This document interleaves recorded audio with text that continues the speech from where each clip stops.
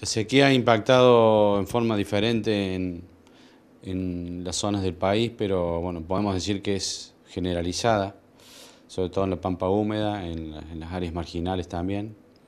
Eh, el impacto es bueno, menor disponibilidad de agua para la producción, este, los sistemas tienen mayor riesgo de, de pérdida de cosecha, pensemos que la agriculturización ha hecho que los sistemas sean más especializados y por lo tanto también más vulnerables a que ocurren estos ciclos. Bueno, el clima ha vuelto a mostrarnos verdaderamente que estamos en una zona de transición inestable eh, y donde bueno, los sistemas de producción tienen que prepararse para estas adversidades porque son mucho más frecuentes los años secos. En una, si, uno mira, si mira una serie histórica de precipitaciones, son mucho más frecuentes los periodos de déficit hídrico que los periodos de exceso, ¿no es cierto? Pero son condiciones normales de, la, condición de transición que tiene nuestra región.